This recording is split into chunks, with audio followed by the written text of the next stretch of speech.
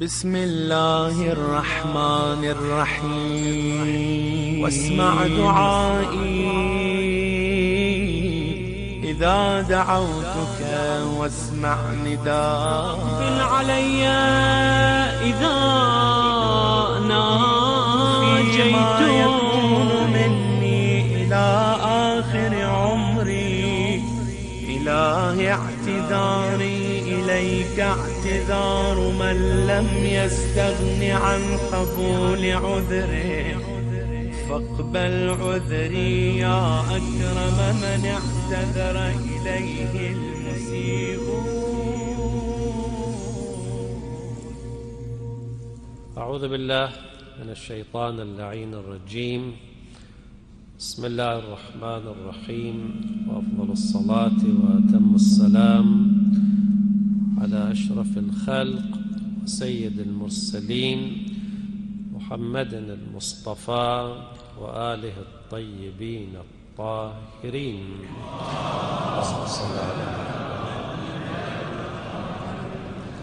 السلام عليكم إخواني أخواتي جميعا ورحمة الله وبركاته.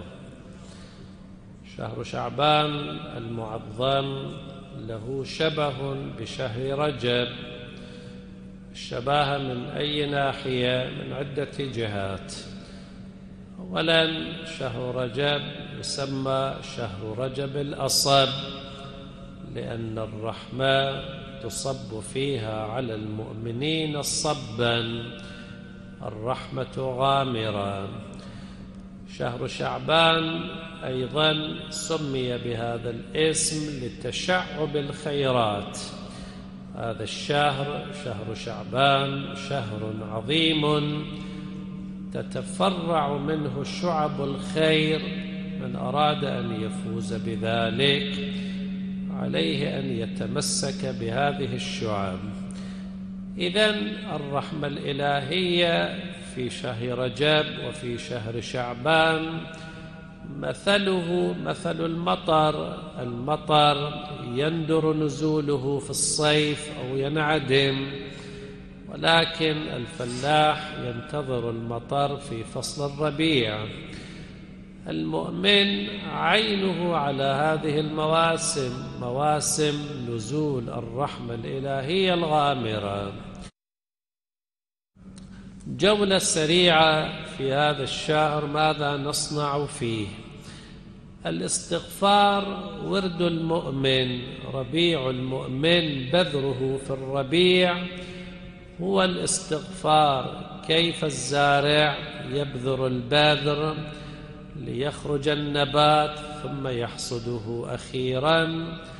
بذر المؤمن في شهر رجب وفي شهر شعبان هو الاستغفار ولهذا لاحظوا هذا التأكيد على الاستغفار بصيغه المختلفة في شهر رجب وفي شهر شعبان. وعادة الدعوة إلى الاستغفار فيها تكرار في شهر شعبان. يستحب أن تستغفر كل يوم قائلا أستغفر الله وأسأله التوبة.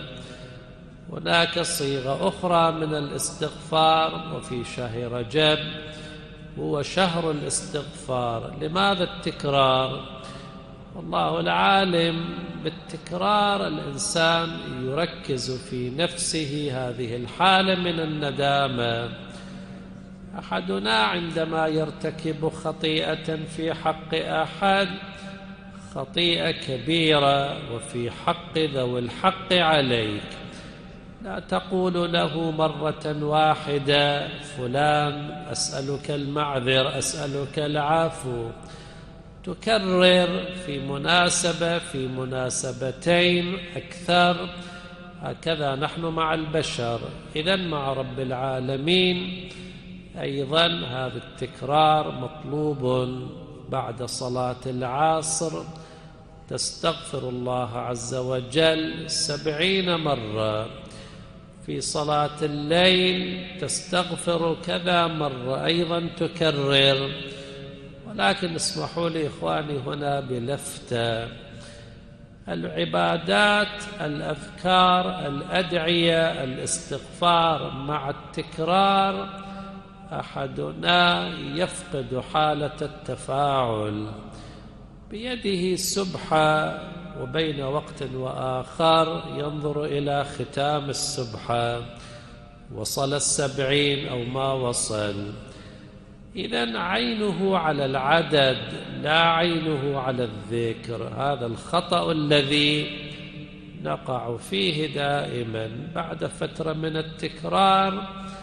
أحدنا لا يعيش الإقبال.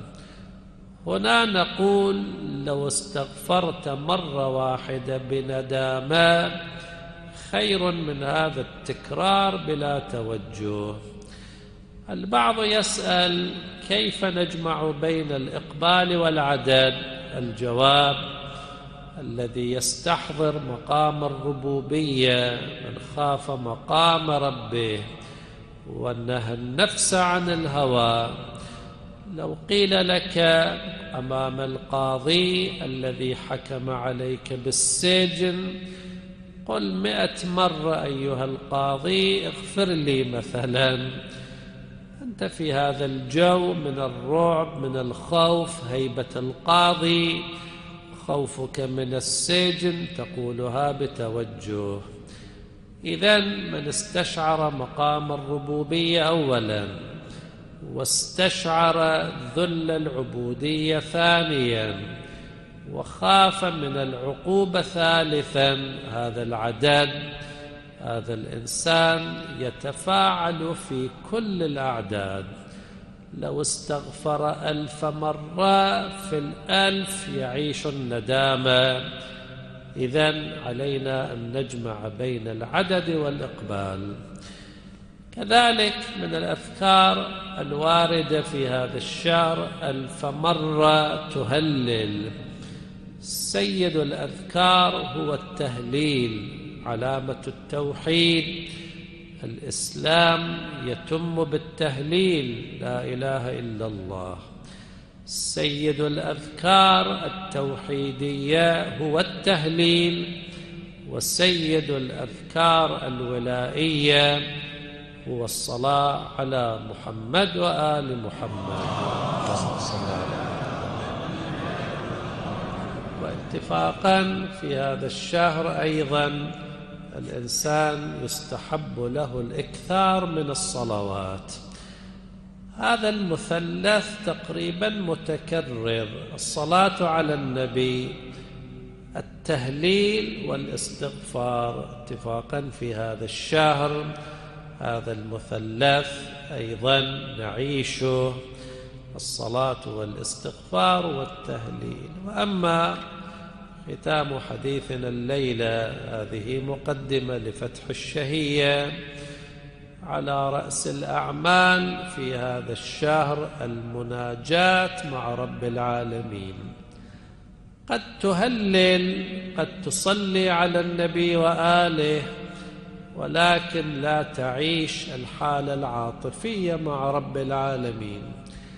الذي يرقق قلبك المناجات أن تتكلم مع الله عز وجل بمناجاة تستدر بها الدمعة نادى ربه نداء خفيا وعلى رأس المناجيات.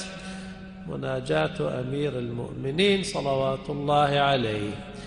والأئمة من ولده هذا التعبير قلما ورد في الدعاء. أمير المؤمنين والأئمة كانوا يلهجون بهذا الدعاء في شهر شعبان. حتى أن من أدعية أمير المؤمنين الأدعية الخالدة في أذهاننا في كتبنا ثلاث أدعية دعاء كمين دعاء الصباح والمناجاة الشعبانية لأمير المؤمنين. هذه المناجات المؤمنون على موعد معها في شهر شعبان. طبعا لا يخفى أن نقول أن الذي يأنس بالدعاء في أي موسم يلهج بها في كل المواسم. ما المانع أن تلهج بفقرات من دعاء أبي حمزة الثمالي في صلاة ليلك ما لي لا أبكي إلى آخره. ما المانع أن نلهج ببعض فقرات المناجاة الشعبانية؟ إلهي هب لي كمال الانقطاع إليك في صلاة ليلك. إذا المؤمن يتحين الفرص أحد العلماء الكبار سمعته يقول ما المانع في الحوائج عند طلب الحوائج أن تقرأ الدعاء الذي نقرأه في ليالي القادر رفع المصاحف أن تجعل القرآن على رأسك بك يا الله بك يا رسول الله إلى آخره. واتفاقا في دعاء رفع المصاحف ليست هناك إشارة إلى شهر رمضان. ولا إلى ليلة القادر أسألك بكتابك المنزل وما فيه. إلى آخره ليس فيه ذكر لشهر الصيام ما المانع في الشدائد تلهج بهذا الدعاء. تقرأ فقرة وباقي الحديث لاحقا. تصلي على النبي وآله واسمع دعائي إذا دعوتك واسمع ندائي إذا ناديتك. يعقل بالله عليكم يعقل رب العالمين لا يسمع النداء. من أسماء الله السميع البصير إذا يسمع ولكن يقول اسمع ندائي أي السمع إجابة. أن يسمع الله صوتك هذا ليس بالمهم. أن يسمع لك ويستجيب لك. يعني أيها العبد ارفع موانع الإجابة ليقبل عليك رب العالمين. ونحن بعد كل ركوع نقول سمع الله لمن حمده. هنا سمع بمعنى استجاب رب العالمين يستجيب للحامدين وللداعي. اللهم اسمع دعاءنا إذا دعوناك. اجعلنا من خيار عبادك الصالحين. هب لنا كمال الانقطاع إليك. أنر أبصار قلوبنا بضياء نظرها إليك. إنك على كل شيء قدير. أبلغ أرواح المؤمنين والمؤمنات ثواب الفاتحة مع الصلوات.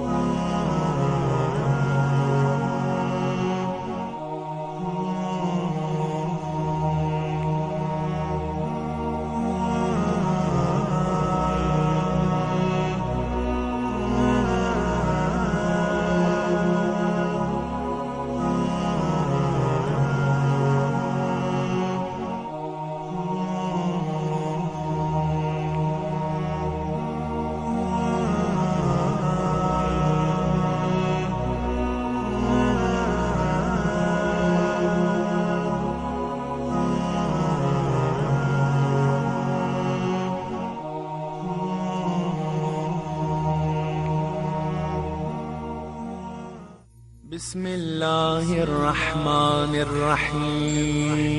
واسمع دعائي.